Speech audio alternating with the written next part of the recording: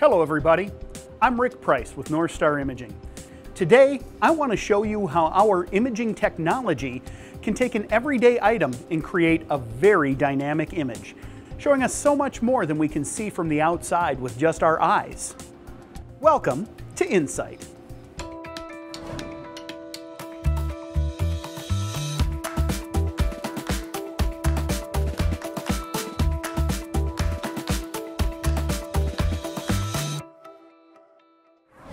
With each passing day, there seems to be a slew of new electronic devices popping into existence. As technology progresses, it seems like almost everything is now running on batteries. NSI's X-ray imaging equipment is used in nearly every major industry, but one of the most common uses across many different industries is CT scanning of batteries. The venerable AA battery format goes all the way back to the early 1900s. And the technology has come a long way. Many of us use devices every day that run on AA NiCad batteries. But by the mid 90s, things were taking on a little bit bigger role in day to day life.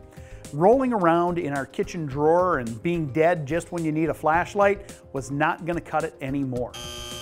That's about the time a new format appeared.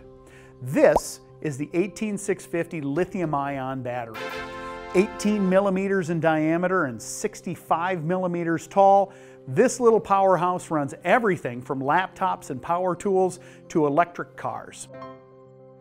Most rechargeable lithium-based batteries draw their power from layers of cathode and anode material that are kept apart by a super thin separator. And the layers then get rolled up and stuffed into the battery can, creating what we call the jelly roll. Mmm, we might be done. Okay. As batteries are checked and tested through hundreds of charge and discharge cycles, CT imaging is used to check for deformations in the jelly roll, like this dynamic image captured using NSI's 4D technology.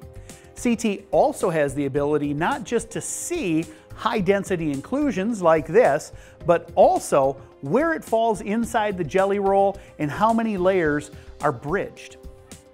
Advancing technology means advancing power sources, and NSI imaging equipment is there every step of the way.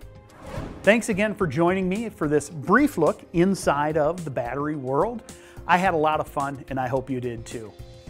To learn more, check out our website at 4nsi.com. Thanks for watching, and I'll see you next time.